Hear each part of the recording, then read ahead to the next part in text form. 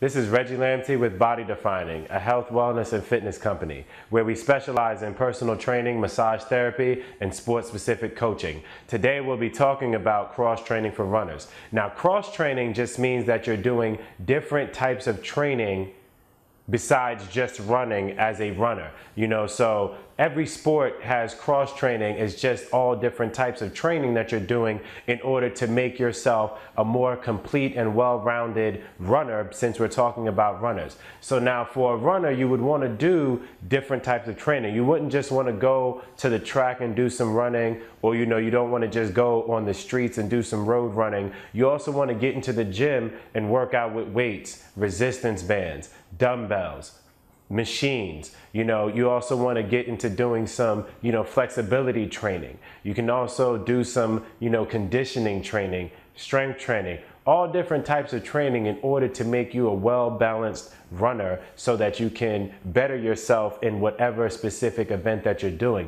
Now there's different types of runners. You have your sprinters, you have your mid-distance runners, you have your distance runners, and then you have your marathon runners. You know, so each different type may do different types of cross training that's going to benefit them the most for their specific events that they do. So as a runner, you can do different types of cross training, whether it be in the gym, whether it be on the field, whether it be at a hill, whether it be running. You just want to incorporate different types of training in order to make you the best athlete that you can be or the best runner that you can be.